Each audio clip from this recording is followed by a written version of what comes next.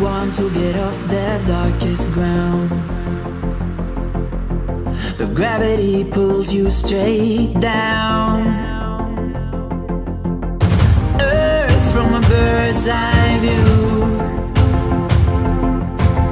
You should grow feathers and see this too.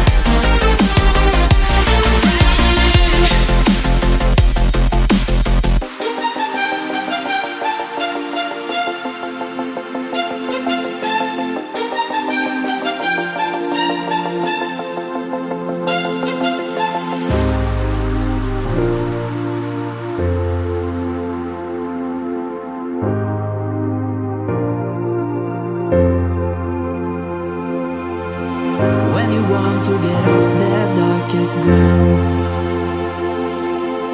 But gravity